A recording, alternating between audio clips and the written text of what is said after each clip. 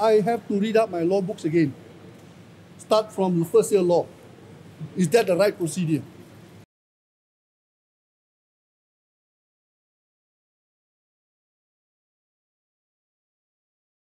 But these are questions which have to be answered and told to the public in a transparent manner.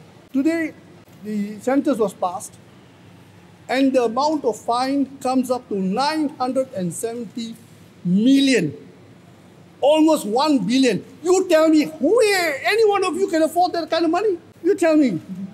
I can't even afford a million. We have got 1 billion, almost 1 billion to be paid from my, our client who doesn't have any sources of income. Is this what we call law of justice or justice for law, justice for the riot?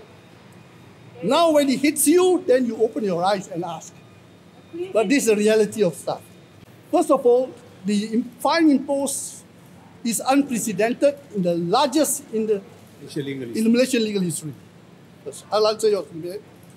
Number two, we filed an application today to ask His Lordship to be recused.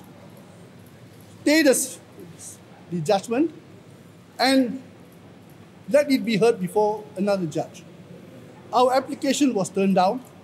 His Lordship wanted us to proceed.